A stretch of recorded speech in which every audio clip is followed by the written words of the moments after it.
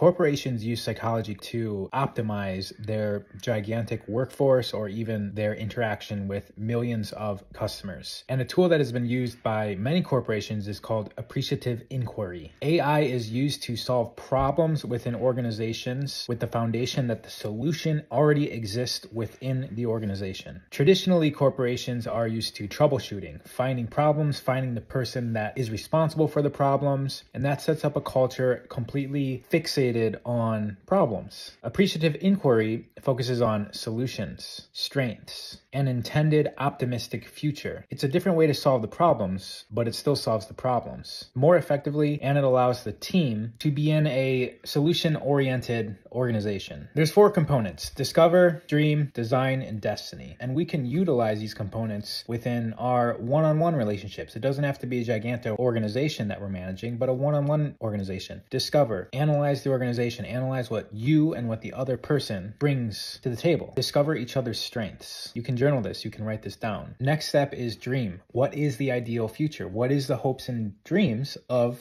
this relationship? Then you move on to design. What action steps can you personally take to move yourself closer to the dream? Next is to set a destiny, set an intention, make a commitment to yourself to do those action steps to move yourself closer to the dream. And one day you'll discover that because of your actions, the relationship is better for it.